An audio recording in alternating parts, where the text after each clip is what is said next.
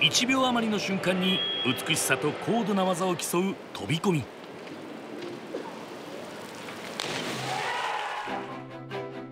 中でも女子シンクロは2人の演技を完璧に揃えるために体型が似通ったパートナーと髪型まで揃えて試合に臨みます。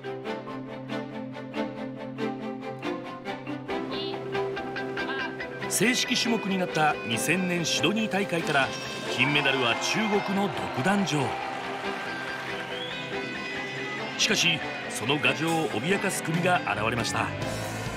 マレーシア代表パンデレーラ・パム選手とジュン・ホン・チョン選手。背丈も肌の色も違う異色のペアがリオで銀メダルを獲得。最強中国を追い詰めたのです。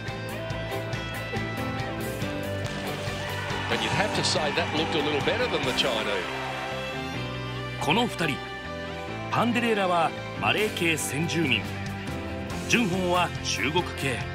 民族そのものが違います。そもそもマレーシアは多民族国家。今はワンマレーシア。民族の違いや対立を乗り越え一つになろうというスローガンのもとさまざまな政策が進められています。つまりマレー系と中国系選手がペアを組むということは One Chinese, one Budayo, one Malaysia also, yeah. Good.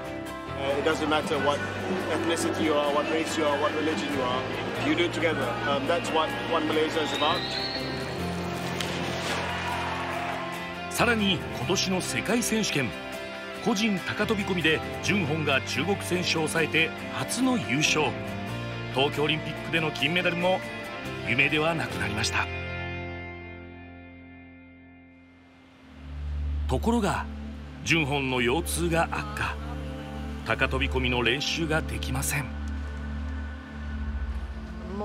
痛みをこらえブダペスト世界選手権で無理をした結果症状が悪化しました。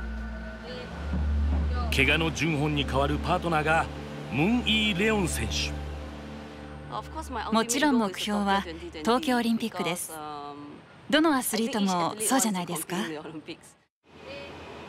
しかし彼女は32歳。選手としてのピークは過ぎています。シンクロは常に3人体制で準備する必要があると思います。そうすれば1人が怪我しても代わりはいますから。国民の悲願ワンマレーシアを象徴する女子シンクロチームマレー系先住民のパンデレーラと中国系のジュンホン。そしてムン・イー。怪我や年齢民族の壁を乗り越え東京オリンピックで金メダルを取れるのか。シーズン最後の日々に密着しました。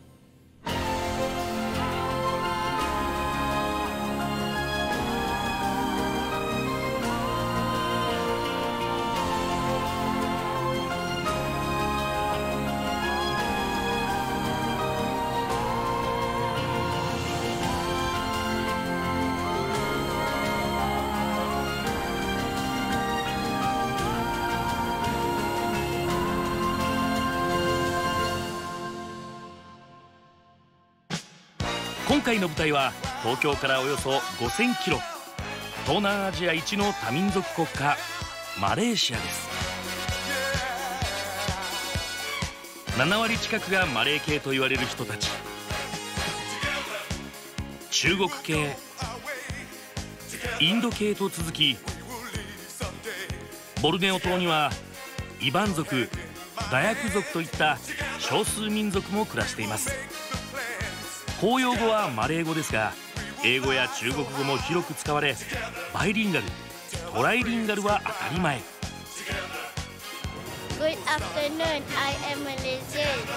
Selamat petang, saya orang Malaysia. Uh, good afternoon, I am Malaysia.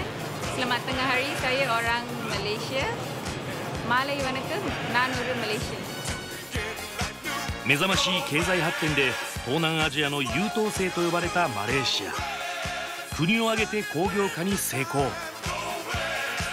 90年代には毎年9%を超える経済成長率を達成しました。国が掲げているスローガンが「ワンマレーシア」民族融和とさらなる経済発展を成し遂げ東京オリンピックが開かれる2020年を目標に先進国入りを目指しています。スポーツ振興にも力を入れています。首都クアラルンプール郊外にナショナルスポーツセンターを開設。10万人収容のサッカー場に陸上競技場。強化選手が通う学校。選手寮も完備されています。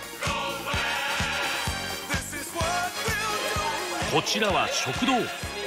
メニューも充実。おいしそう。特に力を入れた競技がダイビング。クアラルンプールだけでダイビング専用プールが4カ所もありこれは東京の2倍。マレーシアはダイビング先進国なのです。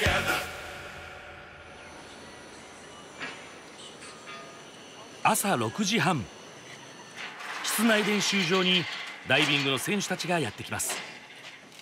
午前と午後の2回計7時間ほどの練習が週6日行われます。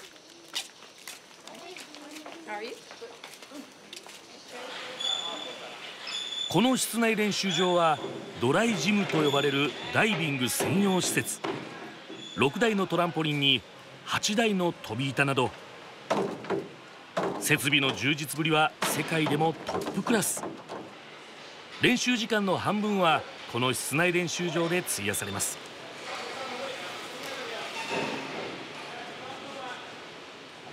現在ナショナルチームのメンバーは14名。平均年齢20歳。マレー系中国系そして先住民と民族性も多彩。コーチ陣は皆中国出身。最強中国の練習法やノウハウを取り入れ東京オリンピックで金メダルを目指しています。選手たちは皆しっかりした目標を持っています。オリンピックで銀と銅は取っていますがマレーシアのために金メダルを取り新たな歴史を作ろうとしています。2人で行うシンクロ競技その軸となるのが24歳のパンデレーラ・パム選手手足が長くマレー系先住民特有のしなやかで強い筋肉の持ち主。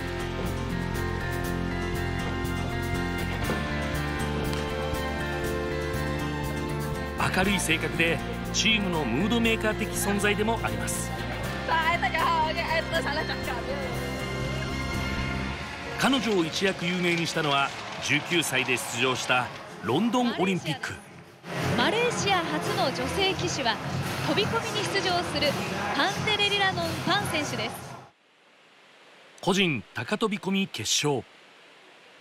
逆立ち後ろ宙返り2回1回半ひねりの自由形。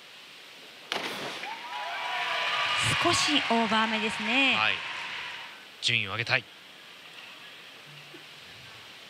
うですか？よかった。決めてきました、はい長身を生かしたしなやかな演技で見事銅メダル獲得。マレーシアの女子で初めてオリンピックメダリストになったのです。これ以上楽しい人生はないかもしれません。ダイビングは私の人生に多くのものをもたらしてくれました。もちろん辛いこともあるし落ち込むことだってあるけどほとんどがいいことばかりね。2016年のリオオリンピックでもパンデレーラは中国系のジュンホン・チョン選手と組んでシンクロ高飛び込みに出場。肌の色も体格も違う2人でしたが。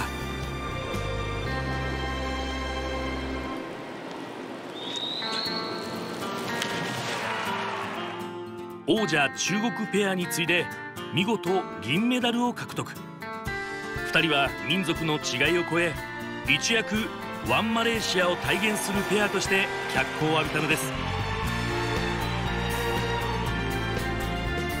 さらに今年の世界選手権ジュンホンは中国を破り世界チャンピオンになりました。今やパンデレーラとジュンホンは国民の期待を一身に集める存在。マレーシア史上初のオリンピック金メダルに近づいていました。10月地元開催の世界グランプリマレーシア大会では2人のシンクロがクライマックスになるはず。ところがジュンホンは高飛び込みの練習が全くできません。持病の腰痛が悪化してしまったのです。10メートルの高飛び込みが選手に与える負荷は小さくありません。ビルの3階以上の高さから落下するスピードは時速50キロに達し衝撃はおよそ1トン。首や手首腰の怪我はつきものなのです。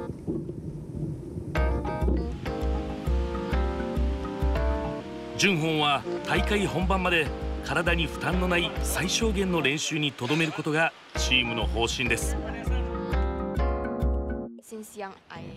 若い時からずっと悩まされていて今年は痛みが頻繁に起こっています。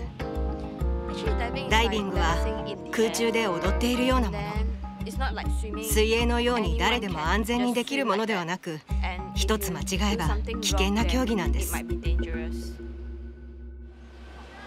怪我の順本に代わって急遽パートナーを務めるのは32歳のベテランムン・イー・レオン選手。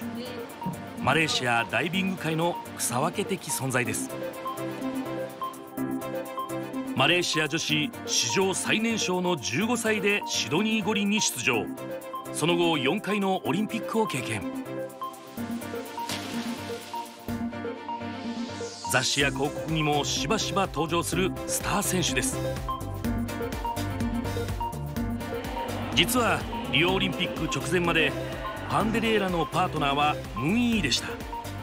この2人がワンマレーシアの象徴だったのです。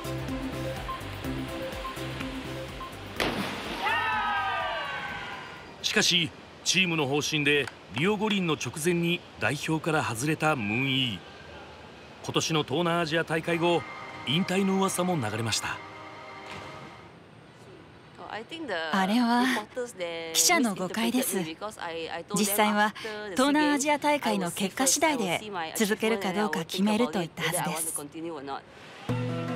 ところがジュンホンの故障が悪化。マレーシアチームは急遽伝説のペアを復活させることにしたのです。シンクロは常に3人体制で準備する必要があると思いますそうすれば1人が怪我しても代わりはいますから。でもジュンホンとパンデレーラのシンクロコンビの方がテクニックが洗練されていてクオリティも高いと思います。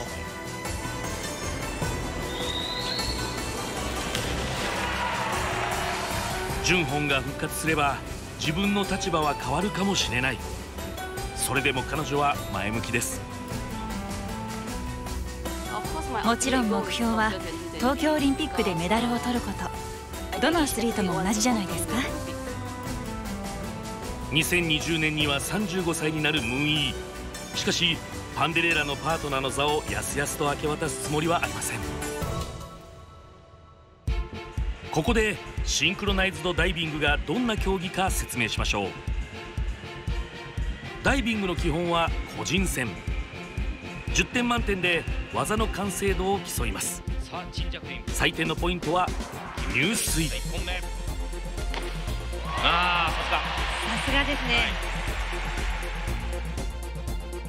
水しぶきの立たないノースプラッシュが理想形。体を水面に対し一直線に飛び込みます。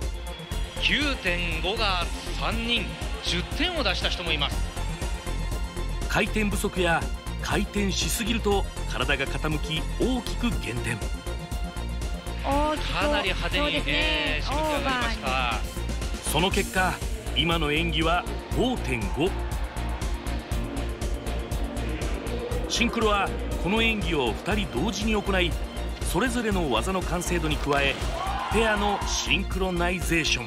つまり同調性も重要。総得点の6割を占めます。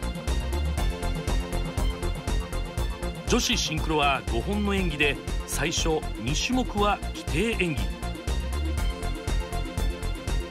規定では難易度に差はないので技の完成度と2人がシンクロし美しいかが重要。そのため大